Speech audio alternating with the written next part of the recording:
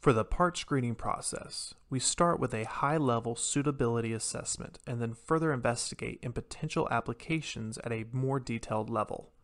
We analyze the technical and the economic fit of an application. In the development phase, we will consider a redesign and create a corresponding business case. In the last step, we will build a prototype and decide if the part has potential for serial application.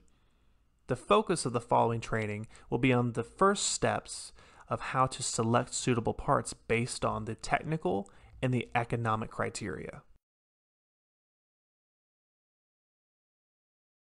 During the part screening and selection process, one of our preliminary goals is to narrow down the number of suitable applications with relatively low effort. The idea is to provide you with pragmatic and structured methods to assess the suitability of your part and AM for your company. We help you to eliminate unsuitable candidates by identifying areas where AM generates the most value and capitalizes spending on resources for deeper evaluation. One of the biggest advantages of our technology is that we can quickly iterate different prototypes and test different designs, enabling us to identify the best solution for serial production. For the first phase, we will develop a scorecard, which then you will then use to evaluate your potential applications. We will run through the scorecard at a later stage during this training. The scorecard is an overview of all the central criteria we discussed.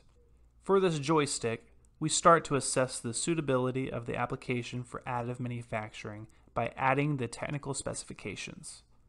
So for example, the dimensions, weight, volume, conventional material, and what equivalent exist as well as quality requirements. On the right side, you find information on complexity, cost, and value add. For the first high-level assessment of applications, we strongly suggest to discuss these in a diverse group setting, next to R&D and engineering colleagues, colleagues from the business side, controlling, supply chain experts, or sales. Often can provide valuable insights by bringing new perspectives to find applications with added value.